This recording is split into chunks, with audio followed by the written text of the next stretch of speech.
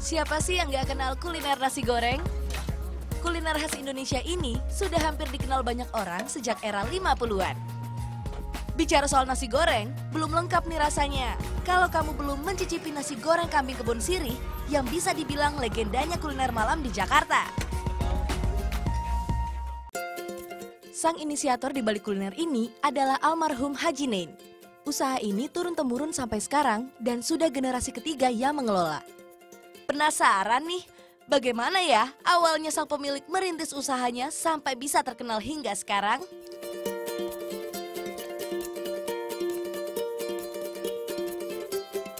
Kalau diri pertama sih tahun 58. Nah, tapi nggak pakai lampu gitu, pakai apa lampu petromak, pakai gerobak gitu. Atap itu pakai bambu. Ya perjuangannya sangat berat lah mungkin lah gitu kan. Dulu kan banyak-banyak preman gitu lah kan. Banyak yang minta upeti lah ibaratnya gitu loh. Zaman dulunya ya berat lah. Berkat kesabaran, kerja keras, dan konsisten dalam menjalankan bisnis nasi goreng ini, nasi goreng kebun sirih pun semakin dikenal dan selalu dipadati pengunjung sampai saat ini. Walaupun banyak tempat makan yang mengusung konsep sama, tapi para penerus dari warung nasi goreng ini tidak takut terhadap persaingan karena punya cita rasa dan ciri khas yang berbeda. Ciri khasnya ada pada kentalnya bumbu dan variasi cita rasa dari resep turun-temurun. Ditambah dengan gurihnya potongan daging kambing yang empuk dan tidak bau perengus. Dan sahabat Salia tahu nggak?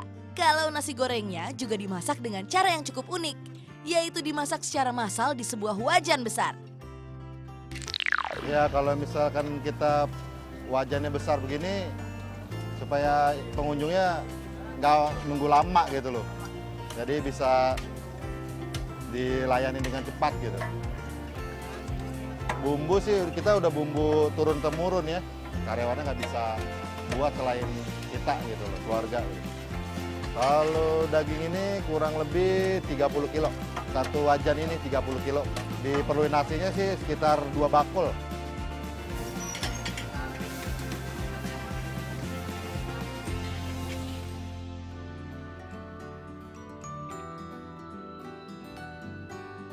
Ya kalau misalkan mau usaha sih kalau dari almarhum ya gitu kan harus kerja keras gitu loh. Mau capek gitu. Kalau udah mau capek ya dapat duit katanya dia, dia gitu lah. Itu dia sahabat Saliha, tidak ada usaha yang sukses tanpa kerja keras. Jadi yang ingin memulai usaha, siapkan niat dan jangan pantang menyerah. Bukan hanya penampilan dari wajah saja, anggota tubuh lainnya seperti kuku sering menjadi suatu hal yang sangat diperhatikan setiap wanita.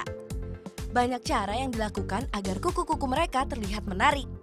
Untuk mendapatkan hasil kreasi kuku, para wanita bisa melakukan di salon atau di rumah.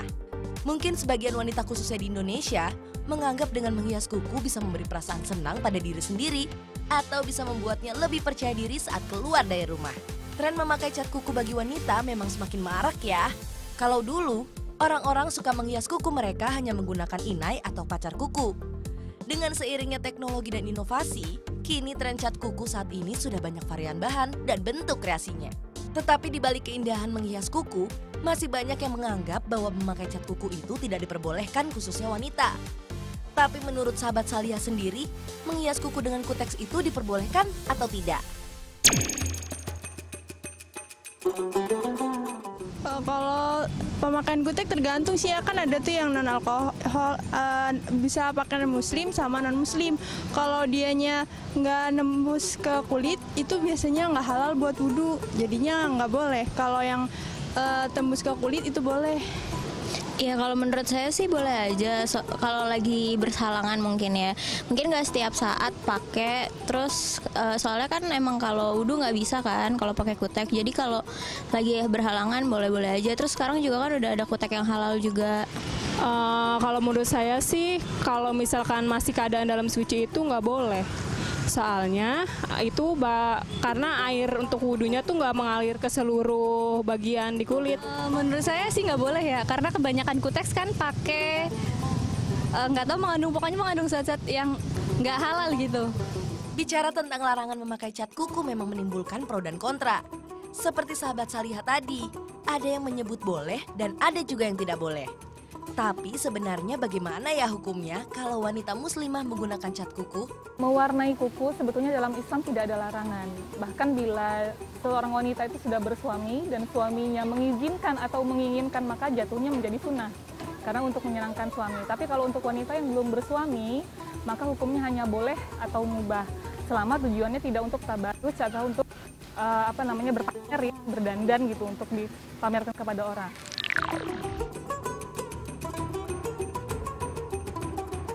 Ada sebuah hadis, um, jika seorang hamba berwudu kemudian dia berkumur-kumur, maka dosa-dosanya akan gugur melalui mulutnya itu. Bila dia kemudian mencuci muka, maka dosa-dosanya itu akan keluar melalui uh, wajahnya sampai ke pinggiran uh, ke pinggir uh, tepi matanya. Kemudian jika dia membasuh tangan, maka dosa-dosanya akan keluar melalui kuku. Nah, masalahnya dengan kuteks adalah uh, kuteks itu kan bahannya melapisi kuku, sehingga ketika seorang muslimah berwudu, maka kukunya tidak akan kena air wudu dan itu yang membuat tidak sah.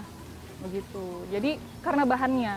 Tapi kalau misalnya uh, sekarang kan ada katanya uh, kuteks yang halal ya ada ya ada uh, beberapa brand gitu yang katanya kuteks itu halal tapi walau alam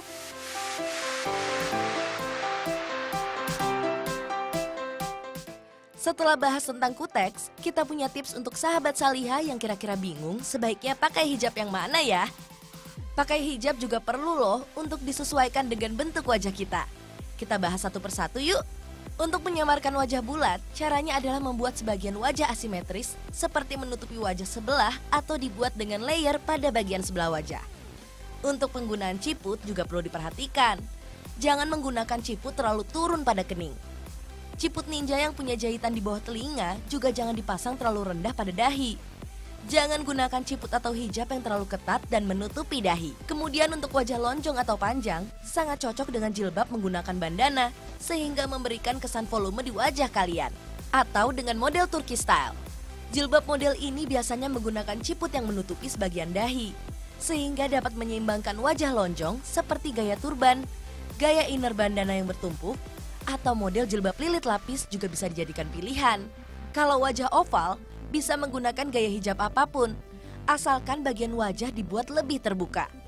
Bagian pipi ditonjolkan agar wajah terlihat lebih besar. Wajah bulat oval dapat menggunakan dalaman jilbab seperti ciput topi, ciput Maroko, atau dalaman ninja. Saat pakai hijab, majukan hijab sejajar vertikal dari ujung alis, mata, sampai ke bawah mendekati dagu sehingga memberikan efek mengecilkan pipi.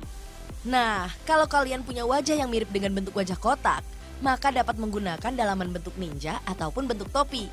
Saat penggunaan hijab, tutup bagian rahang sehingga membuat wajah yang tegas lebih lembut atau dapat menggunakan ciput variasi agar wajah terlihat lebih oval dan lembut dengan tidak terlalu mempertegas rahang. Dan yang terakhir, penggunaan hijab untuk yang berwajah hati atau segitiga. Kenakanlah hijab dengan ninja yang sudut jahitan pada pipi berada di bagian tulang pipi. Kenakanlah dalaman topi yang melengkung natural. Dan sebaiknya, jangan menggunakan jilbab terlalu maju ke arah dagu, supaya dagu tidak tampak makin lancip. Beri jarak sudut alis dan mata hingga dagu tidak terlalu maju dan tidak terlalu mundur. Atur jilbab bagian dahi agak ke atas. Lo nggak pakai hijab aja, kayaknya gue sayang banget deh sama lo. Kasarnya lo kayak ngomong gitu gitu rezeki lo juga gak gue ambil kok. Di saat lo gak pakai hijab. Tapi kalau lo nurutin perintah gue kayaknya gue akan lebih sayang lagi gitu